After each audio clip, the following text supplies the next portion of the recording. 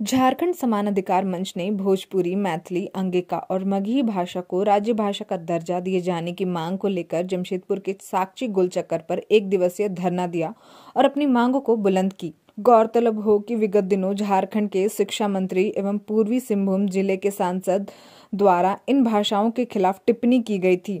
तब से लेकर लगातार भोजपुरी, मगही, अंगिका और मैथिली भाषा भाषियों के बीच में उबाल है। धरने के नेतृत्व कर रहे योगेंद्र शर्मा ने कहा कि अगर हम तमाम लोग इन राजनेताओं को सत्ता पर बैठा सकते हैं तो सत्ता से उतार भी सकते हैं। राज्य निर्माण के बाद से ही हम सभी भाषा का दंश झेल रहे हैं और अब ये बर्दाश्त नहीं होगा और अब आर पार की लड़ाई होगी। यहाँ शांतिपूर्ण तरीके से धरना दे रहे हैं और इस राज्य में रह भी रहे थे।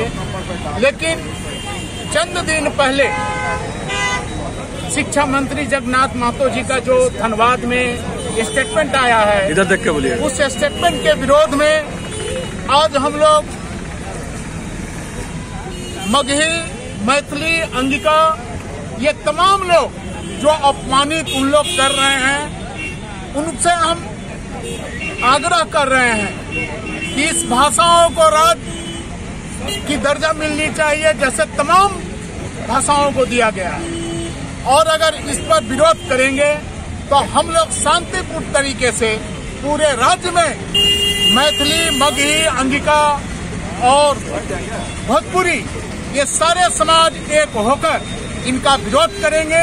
क्योंकि आने वाला समय, ये हम लोग 2000 से सप्तवानी बाँध को झेलते आ रहे हैं, लेकिन ये चरम सीमा पार कर रहे हैं। हम लोग इस पर राष्ट्रीय पार्टी से भी आग्रह करते हैं कि इस पर अगर अंकुश नहीं लगाया गया तो आने वाला समय में यहाँ झारखंड के तमाम भोजपुरी, मगही, अंगिका या मैत्री समाज के लोग एकजुट होकर उन्हें सत्ता से विहीन कर देंगे।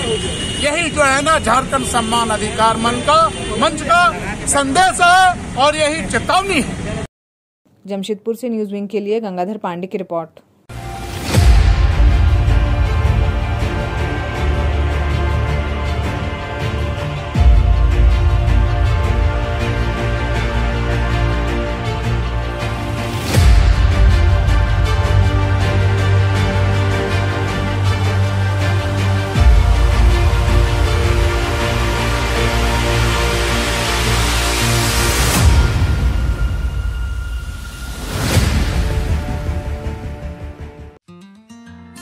Uh, is a small place, and uh, we have like very less facilities in terms of you know education and this kind of infrastructure.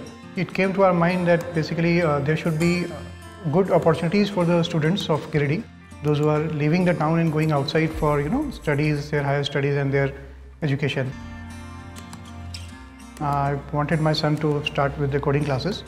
So I researched it online, I got through all the reviews and everything then I got in touch with the White Hat representatives and I was very happy with the progress and all how he was doing. So then I thought that why not to implement it in our school so that all the students are able to learn, you know, this thing. I started coding because we can make our uh, thoughts real. We can interact with the computer. White Hat Junior is helping me to create a web browser. And I think uh, on this part, White Hat is actually leading, uh, you know, on this, this coding platform.